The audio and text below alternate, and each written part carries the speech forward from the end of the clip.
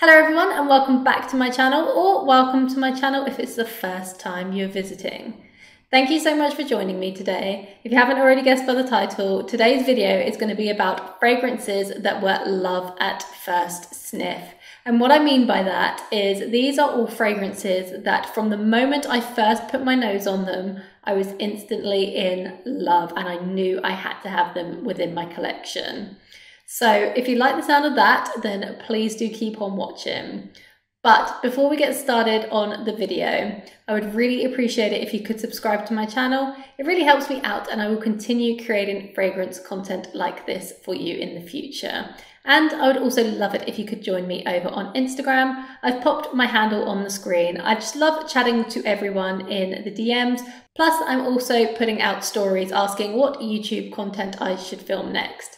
So now we've got that out of the way, let's get started on my fragrances that were love at first sniff. And this to me is very exciting. So the first fragrance that was love at first sight slash first sniff is none other than Maison Francis Kurkdjian Gentle Fluidity Gold. Now I haven't actually spoken about this one on my channel yet and I know I should have spoken about it sooner but this is one that I slept on for far too long. I knew I absolutely loved it. It was love at first sniff at the counter. But I think when you're at the Maison Francis Kurkdjian counter, so many of their fragrances are absolutely beast mode, such as Baccarat Rouge or Oud Mood, etc. So this one could almost take a little bit of a backseat in terms of scent profile. But I absolutely loved it in store the first time I tried it and every other time after that. So in essence, this is a soft and sensual vanilla based fragrance with a little bit of musk in there. It also has notes of juniper berries, coriander and nutmeg and I believe an amber note too. But what I mostly get from this is just a very pretty, soft, vanilla-based fragrance with a little bit of aromatics to it. And yeah, I think it's absolutely gorgeous. I've been wearing this a lot recently. I just spray it on and it's a great everyday scent. This could actually become a signature scent for me. We shall see. But yeah, it was absolutely love at first sniff. It's a very pretty fragrance and yeah, we're going to start the list with Maison Francis Kurkdjian Gentle Fluidity Gold. The next fragrance is one I've also not spoken about yet on my channel, but it's too good not to share, and that is Le L'Orchestre Parfum, and it is Rose Trombone. And this is very new to my collection. One of my favorite accounts on Instagram, Aroma and Aesthetics, ran by Inez, had spoken so highly about this fragrance and her recommendations are normally so on point and I normally absolutely love them. So I knew I had to try this one. And wow, was she spot on. So thanks so much, Inez. You've got me absolutely obsessed with Rose Trombone. Now, in essence, this is a very clean smelling rose scent. And whilst the sound of a clean rose scent might sound a little bit boring, I promise you it isn't. It also has this extremely juicy pear note in there, which is so moreish and it just makes this so fresh and juicy. And it's really hard to describe, but I would love all of my clothing to smell like this. Like if they did a laundry detergent that smelled like rose trombone, I would buy it by the bucket load. And I'm not saying this smells like laundry detergent, but it is the most beautiful, clean, fresh rose fragrance I think I've ever put my nose on, truly. It does have notes of rum, white musk, and sandalwood in the base too, but mostly what I get from this fragrance is the rose up top, and then it's followed by pear and vanilla. I do absolutely get the musk too, and it's just super fresh, super clean, and I don't know what more I can say about it other than it was love at first sniff, and I absolutely adore it. And I'll be wearing this straight out the shower, but also on them days I want to feel cool. I think this is quite a cool girl aesthetic personally, but also clean vibes too. So if you haven't tried this one out, I would totally recommend getting your nose on it. This fragrance house is absolutely beautiful and the quality is insane. And how aesthetic are these bottles? So yeah, that was Rose Trombone by L'Orchestre Parfum. I think you're going to start to see a trend in what type of fragrances I normally fall in love with at first sniff. There is definitely a theme going on within this video, well, two themes really. And the next fragrance that was love at first sniff was by Guerlain and it is Angelique Noire. And wow, wow, wow, is this the most beautiful green vanilla fragrance ever. And yeah, I think hands down it actually is the best green vanilla fragrance ever, personally. So, similar to Rose Trombone, this also has a juicy pear note in here. But this goes in a totally different direction from Rose Trombone because this has no rose note in there. But what we do have is Angelica, pear, and pink pepper. And it is so stunning. I think this is the most perfect bridal scent personally and I wish I actually got a bigger bottle of it because I'm kind of cherishing this bottle because as you probably know Guerlain the arts collection is very expensive but this one in my opinion is definitely worth the purchase. It is a soft vanilla fragrance that's not beast mode projection but it will leave you smelling incredible. If you love a vanilla fragrance but like more of a fresh and green based vanilla, I'd highly recommend trying this one out what I mostly get from it is the Angelica and the pear note, but then you get that beautiful kind of soft and musky vanilla in the base. It is an absolute masterpiece of a fragrance in my opinion, and one that I will forever repurchase. Who's ready to kick it up a notch and go with something a little bit more beast mode and something a little bit more sexy? Because this one blew my mind.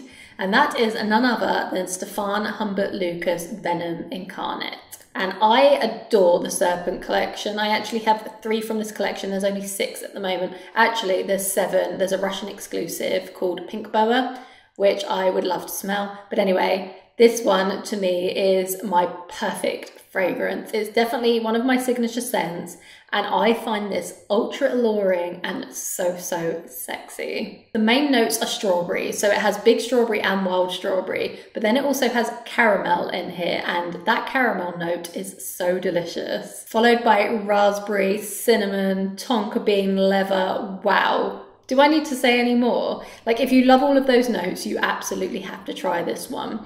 This is definitely one of my favorite scent profiles. Now I have three other fragrances that smell similar to this, but they all go in slightly different directions. Maybe most people wouldn't need to own all three, but I absolutely do. But anyway, let's not talk about that because maybe I could do a comparison on another day. But strawberry, caramel, and leather, that is what you're going to get with this fragrance. It is absolutely beast mode. People will smell you, and this has given me so many compliments. But other than people giving me compliments, I give myself compliments because this is chef's kiss stunning. I adore it. I love it. I will always own it. And if you can't tell already, I love this one. So I'm not going to ramble on too much about it. I've spoken about it in other videos. It was an absolute love at first sniff slash love forever. So that was Venom Incarnat by Stephane Humbert Lucas. The next one is another true masterpiece that I could not be without within my collection, and it is by Xerjoff and it is Starlight. And I actually purchased this one due to all of your recommendations. I love cardamom fragrances and I kept seeing this one recommended in the comments. So thank you so much to everyone that recommended this. Please do keep your recommendations coming because I am finding some absolute winners within the comments. But Starlight is definitely one of my all time favourite fragrances, especially that I've added into my collection this year. In essence, this is an almond, cardamom, bergamot, amber and cinnamon based fragrance. But what I mostly get from it is the bergamot and the cardamom in the opening, and then it kind of dries down into like an ambery, woody scent. But it has this transparency to it, which is hard to explain. It's not super dense in the dry down, so it's not a beast mode fragrance in my opinion. And I don't feel like it projects a lot. However, I think some people would disagree with that one. However, actually, I did wear it the other day, and my partner was like, Oh, you're wearing one of your cardamom fragrances. And he could smell it from across the room, and it was this one. So, yeah, Starlight by Xerjoff was absolutely love at first sniff, and I still adore it to this day. I say to this day like I've owned it forever. I have not. But yeah, I absolutely adore it. I think it is the most gorgeous scent profile, and it is definitely one of my favorite fragrances this year. So, that was Xerjoff Starlight. The next fragrance absolutely had to be included because it was love at first sniff slash love of my life, and that is Parfums de Marly Delina, the original. And the reason I say love of my life is because I will never be without this in my collection. I have so many sentimental memories attached to this one. I've worn it on very special occasions, and I think she is just stunning. It's very much a lychee, rhubarb, and rose scent with peonies throughout. It's very sweet, very girly. I think it would make the perfect bridal scent and yeah, that's all I have to say about this one, really, because I know so many of you have probably tried it already. It's been very hyped up in the community, and so many people do love this one. So I don't want to touch on it for too long, but if you do want to know anything more on this, please do let me know. But I figured you probably know about it already, but it's an absolute masterpiece for me. I love it so much, and it's beast mode on my skin. It will absolutely last all day. So if I have got a special occasion to go to, I know this one is tried and true and will last me the whole day and night. So that was Parfums de Marly Delina. The next fragrance that I think is an absolute masterpiece is by M. Micallef and it is called Note Vanille. And this is a lot newer to my collection. I wish I picked this one up sooner. It would have definitely made my top 10 vanilla list. I think this is vanilla perfection in a bottle. I have been reaching for it a ton already and I am absolutely in love with it. It's a lot more complex than being just a standard vanilla, but the vanilla definitely stands right at the front stage and center. It also has notes of rum, cognac and amber in the base, which gives it a very beautiful and dense dry down, but it's lifted up by the citruses in the top. It also does have floral notes throughout. However, what I get from this is predominantly a gooey vanilla based fragrance with a nice ambery, slightly woody dry down. It is truly spectacular and I urge everyone to get their noses on this if you do love a vanilla based fragrance. What I would liken it most to is Jerome Bohm's Insula, Jovoy's Fire at Will, and slightly Kayali Vanilla 28. However, this one is a little bit more complex, and yet I absolutely love this one. And please do expect to see it in future videos to come because it's that special. So that was Note Vanille by M. Micallef. Next up, we're going for a freshie, and I think this is the first fresh fragrance that I have in this list, and it is by Vilhelm, and it's called Dear Polly. Now, how aesthetically pleasing are the Vilhelm bottles? I absolutely adore them. I think they are stunning on the vanity and probably one of my favorite bottles any designer has created.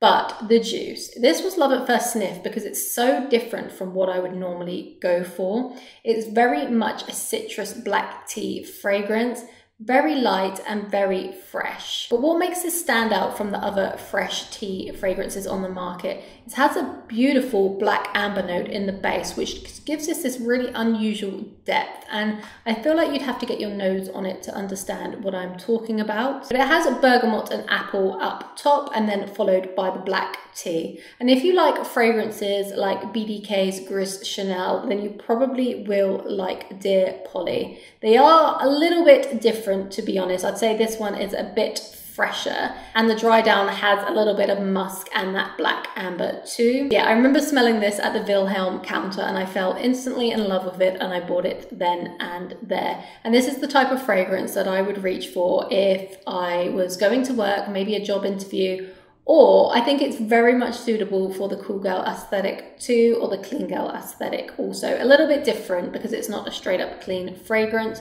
but it can pull in that category for sure. So that was Vilhelm's Dear Polly. And the last fragrance I want to discuss, you probably not be shocked by if you watch my channel, and it is by La Perla and it is called Possibilities. Now I'm going to take the cap off because it is ultra reflection, and this was definitely a love at first sniff. What I got straight from my first sniff was a peppery rose or floral based fragrance and I fell in love. It has notes of Petalia, blackcurrant, freesia, rose, pink pepper, and I think this is an ultra girly fragrance. It is definitely floral dominance. you have to like floral fragrances to really enjoy this one. And some people have mentioned that they don't really get the pink pepper, but the pink pepper is so prominent to me and it lasts all day on my skin. It's a very kind of fresh and juicy floral in my opinion. That blackcurrant just brings a real juiciness to those other floral notes, especially like freesia, which can be a lot softer. In the base, this has vanilla, cashmere wood, and ambergris, and I just think this is truly special. It absolutely needs to be tried on the skin, and this, to me right now, is definitely my signature scent. I wear this so often and I absolutely adore it. And I know so many of you have purchased this one and have given me your feedback and I know that so many of you are loving it. So that makes me really happy. I'm so glad that La Perla is on the map now and quite a few people are speaking about possibilities. So yeah, I'm not alone in loving this fragrance. So yeah, this is the last fragrance I'm going to be talking about today, but this was definitely a love at first sniff and it will be a love forever. I hope you enjoyed this video. I probably could have added more fragrances to this list, but I didn't want it to be too long. So please do let me know what fragrances were love at first sniff for you because best believe I'm going to go check them out and likely order some samples. So I would love to know your feedback on what fragrances were love at first sniff for you. So I hope you enjoyed this video. Thank you so much for joining me today. I would really appreciate it if you could subscribe to my channel, of course, only if you enjoyed the content. I hope to see you all in a future video to come. Have a wonderful day. Thank you so much and goodbye.